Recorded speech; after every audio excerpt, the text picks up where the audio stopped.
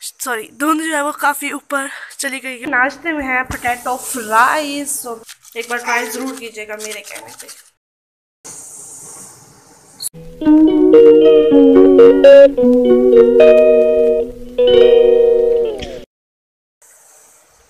वालेकुम everyone welcome back to a new vlogs कैसे आप सब लोग? आई होप आप सब लोग बिल्कुल ठीक होंगे खैरियत से होंगे और जहाँ भी रहें खुश रहें हँसते रहें मुस्कुराते रहें और हमारे चैनल को सब्सक्राइब करते रहें।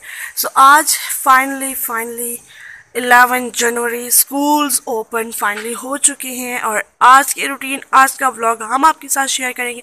आज की रूटीन का व्लॉग है मॉर्निंग रूटीन तो मैं आपको दिखाती हूँ कि सबसे पहले हम नाश्ते में क्या करने वाले हैं? और अभी सुबह के बज रहे हैं सुबह आई थिंक साढ़े दस? नहीं, पौने ग्यारह, यानी कि टेन फोर्टी, दस बज के चालीस मिनट हो रहे हैं और सूरज का कोई नामो निशान नहीं है। और शाम को इतनी ज़्यादा धुंध हो गई थी कि सुबह ऐसा लग रहा था कि दिखने लायक नहीं होगी बट अल्हम्दुलिल्लाह धूप जो है वो सॉरी धुंध जो है वो काफ़ी ऊपर चली गई है और उजाला उजाला सा हो गया। और अब आपको दिखाती हूँ कि नाश्ते में क्या है। तो so, आज के नाश्ते में है पोटैटो फ्राइज तो मैंने सोचा कि क्यों ना आज थोड़ा हट के नाश्ता किया जाए ठीक है पोटैटो फ्राइज़ के साथ। तो अभी मैं इनको बना रही थी तो मैंने सोचा क्यों ना आज भी ब्लॉग शुरू किया जाए। इतनी बड़ी कढ़ाई पे इतने से आलू हैं ठीक है ठीक है ये मैं अपने लिए तो इसलिए।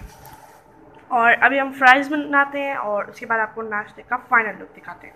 So state you like share subscribe so हमारे जो फ्राइज़ हैं वो तैयार हो चुके हैं और आप इनको निकालते हैं प्लेट में और आपको दिखाते हैं इनका फाइनल लुक सो so, हमने सोचा कि क्यों ना जो ये फ्राइज़ हैं इनके टेस्ट को इन्हेंस किया जाए तो हम डालें ये शान अचार गोश्त। थोड़ा सा ऊपर से स्प्रिंकल्स कर देंगे। इससे टेस्ट बहुत अच्छा आता है। एक बार ट्राई ज़रूर कीजिएगा मेरे कहने पे। तो अब हम अपना नाश्ता एंजॉय करते हैं और उसके बाद आपसे मिलते हैं।